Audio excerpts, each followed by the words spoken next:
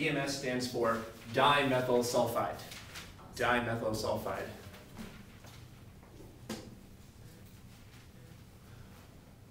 You can also use uh, zinc and acetic acid for the second step, but I guess, well, if, if you guys have seen that. So the second step could be either DMS, dimethyl sulfide, or I believe zinc and acetic acid is another common reagent there. All right, does anyone know what would happen here? I know that it yields, it breaks a carbon-carbon bond to make a double bonded O, two double bonded O's. Okay, yeah. And this is another case where you should know the mechanism in case you're asked about it, but you should never really draw the mechanism unless you're specifically asked. And again, the mechanism is in the second language book, so you can kind of just look at that. So let's just go through um, the products here, which are very important. Um, so this is actually one of my favorite reactions. This is very simple. You draw a very long double bond. Long double bond, then you erase the middle. And you put in two oxygens. And this is how you get the product. This is what's called ozonolysis, right? Ozonolysis. Basically, you take the carbon-carbon double bond and turn it into two carbonyls. And you can do that mechanically just by drawing a very long double bond and putting two oxygens in the middle of the double bond. Like I said, the only time you should ever draw the mechanism here is if you were specifically asked about it, and the mechanism is in the second language book, so you can drill on that. But for just predicting products, you can just do this step. Why is this called ozonolysis? Well, this is ozone, and lysis means breaking. So this is breaking a double bond with ozone. Yeah, so let's take a few minutes to talk about this, because this is a very important uh, reaction here. So far, so good? Notice that these are two separate steps. The first step is always adding ozone, and then the second step is a reducing agent, DMS, dimethyl sulfide here, Me2S is a good one, or zinc and acetic acid you might see used as well. So the second step could be either the zinc or the Me2S.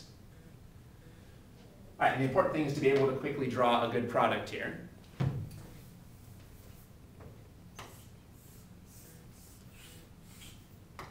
So let's draw the product from this reaction. Let's just use that same method I just mentioned. Draw a long double bond and do the erasing and adding trick.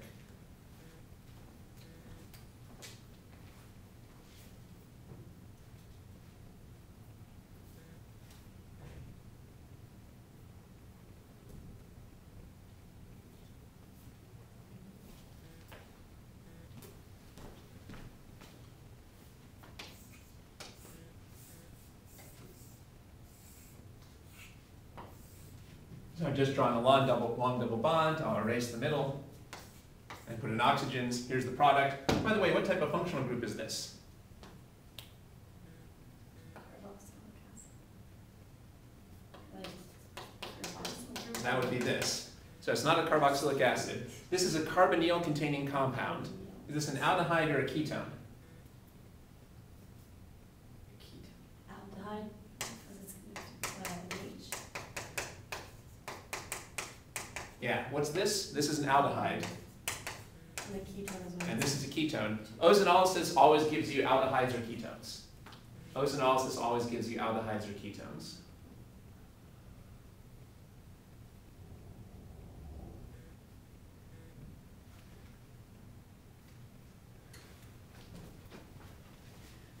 It's actually pretty, uh, it's usual for an aldehyde to show the aldehyde hydrogen. So you might see it drawn like this. Usually we don't treat the aldehyde hydrogen as hidden. But I think you would get full credit even if you left the hydrogen out.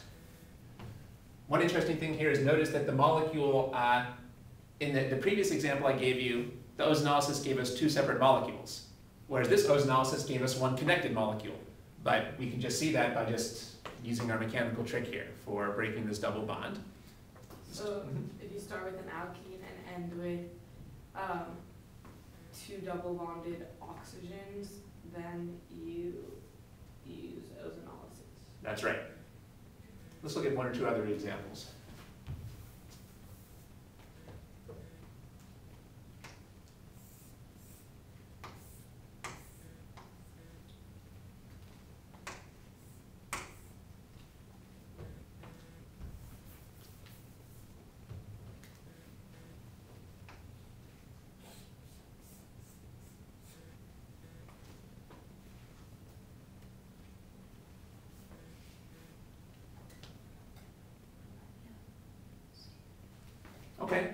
Let's do ozonolysis here.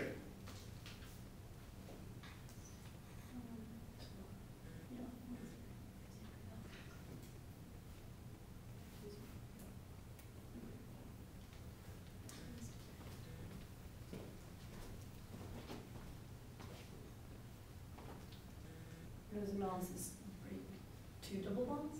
Absolutely, it should cleave. We should assume that we have uh, excess ozone and we're gonna be able to cleave all the double bonds.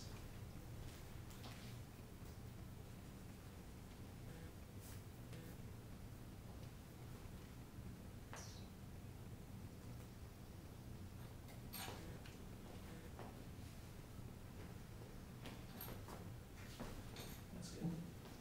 Oh. Is this your answer? Oh, yeah. Good.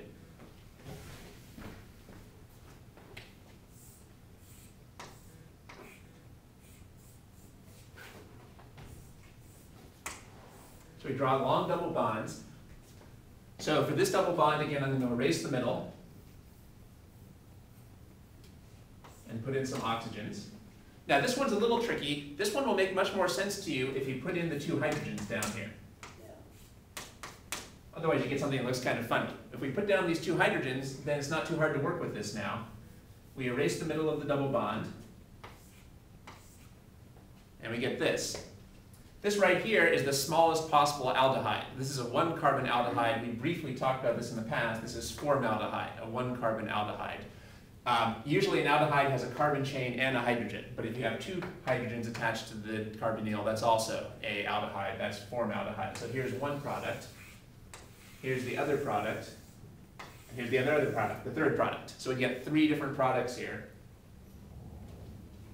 So ozonolysis problems are too easy if there's only one double bond. You're likely to see a, pro- uh, uh, a problem where there's maybe, I don't know, four or five double bonds, and they ask you to draw the product. So you want to drill on how to do that. How did you know to put those H's? Well, of course, the H's were there all the time, right? Oh, yeah. Right, they're always there. It's just that in this case, it's convenient to draw the H's because if you don't draw the H's, you get something that looks funny. Yeah. It just looks funny. It looks less funny if you put the hydrogens in there. So in this one, we got two ketones and a formaldehyde. Uh, let's think about that. Here we have a ketone. Yeah. What's this? Uh, What's this functional group here? oh, that's a carbonyl. What type of carbonyl? These are all carbonyl containing compounds. This is another ketone, right? Uh, although actually, this is a little tricky because we've got two carbonyls next to each other. We haven't quite learned about that. So I don't know. Uh, I don't know if we'd really bother giving this a name. But anyway, here we have a carbonyl attached to an aldehyde group. You might call this over here.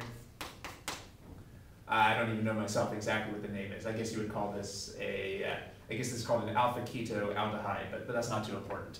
The important thing is being able to draw the structure. Here we got the formaldehyde. All right, so again, you can expect for an ozonolysis problem to have lots of double bonds that you have to cleave.